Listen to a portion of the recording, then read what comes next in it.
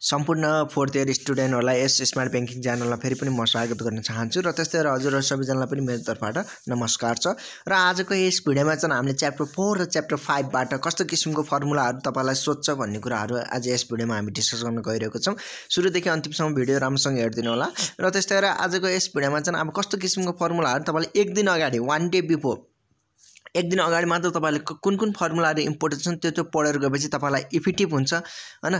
त्यहाँबाट तपाईँले पन्ध्र मार्क्सको किनभने च्याप्टर फाइभ भनेको मोडर्न पोर्टफोलियो जहाँबाट तपाईँलाई पन्ध्र मार्क्सको क्वेसन सोधेर आउँछ त्यसको लागि त राम्रोसँग पढेर जानु र च्याप्टर फोर पनि रिटर्न एन्ड रिक्स तपाईँहरूको लागि इम्पोर्टेन्ट नै छ। कहिलेकाहीँ टु मार्क्सको कहिलेकाहीँ टेन मार्क्सको यहाँबाट क्वेसन सोधेर हुन्छ त्यो कारणले गर्दा राम्रोसँग यसलाई पनि यसको फर्मुलाहरू पनि राम्रोसँग अध्ययन गरेर जानु होला र तपाईँले वान नम्बरमा हेर्न सक्नुहुन्छ कोपिसन ब्यालेन्स यसको फर्मुला अलि राम्रोसँग हेरेर जानु होला।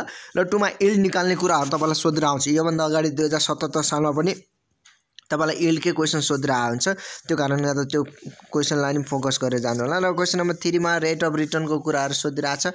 त्यसलाई पनि अलिकति हेरेर जानु होला। र फोरमा एचपिआरको कुराहरू पनि होल्डिङ पर रिटर्न पनि तपाईँलाई सोधेर आउँछ। त्यो कारणले गर्दा त्यो फर्मुला पनि अलिक फोकस गरेर जानु होला।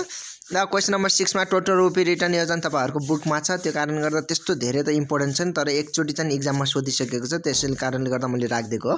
र सेभेनमा डिभिडेन्ड इल्ड पनि इम्पोर्टेन्ट नै छ।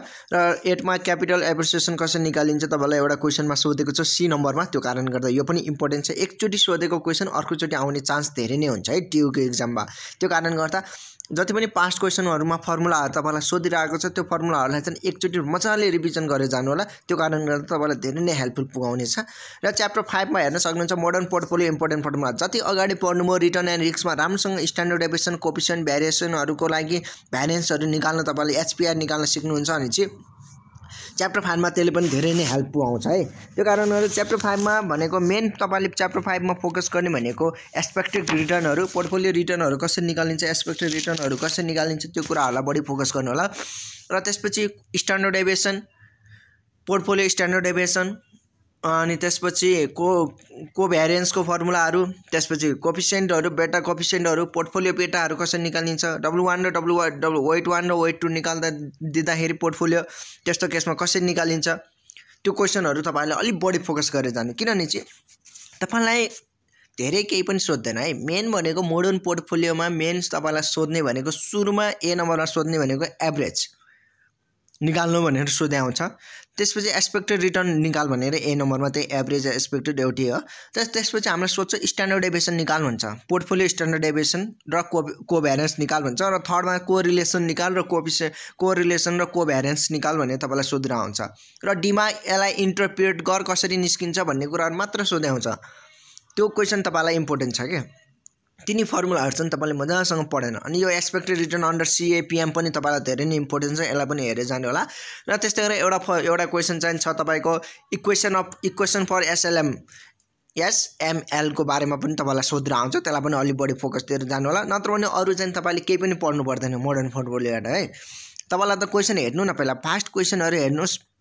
त्यसमा हेर्नुहोस् त तपाईँले कसरी निकालेको छ के के क्वेसनहरू सोधेछ जहाँ पनि तपाईँलाई एक्सपेक्टेड रिटर्न एमा सोधेको छ।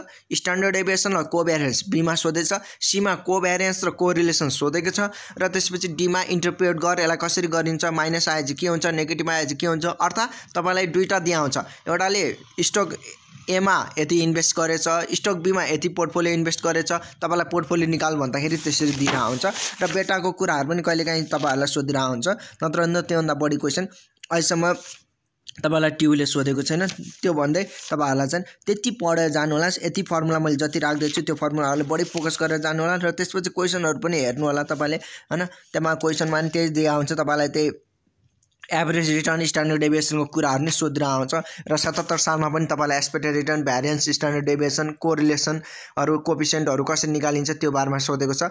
त्यो कारणले गर्दा राम्रोसँग पढिदिनु होला भन्दै हजुरहरूबाट बिदाउँदैछु आजको यस भिडियोबाट र best of luck for exam राम्रोसँग इक्जाम दिनु होला नआत्तिनु होला भन्दै have a good day take care bye bye